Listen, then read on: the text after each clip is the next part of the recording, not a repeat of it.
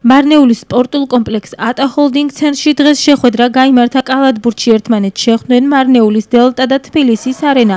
დღევანდელი შეხვედრა აღნიშნული გუნდებისთვის დაძაბული იყო, რადგან ამ შეხვედრით გადაწყდა თუ რომელი გუნდი გადავიდოდა სუპერლიგაში. შეხვედრა მარნეულის დელტას გამარჯვებით 97-92-ით დასრულდა.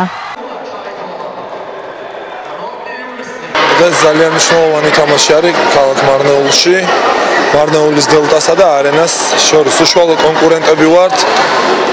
როგორი დაძაბულობაც არის ეხლა მოედანზე თქვენ ხედავთ იგივე მნიშვნელობის თამაში არის ეს. არ ვიცი რა იქნება, როგორ იქნება თქვენს ძალიან კაი გუნდი არის, ძლიერი გუნდი არის, მაგრამ რა ვიცი, ვეცდებით რომ გამარჯვება მოვიპოვოთ. განიმტკიცებს ლიდერობას სუპერლიგაში გადასასვლელს.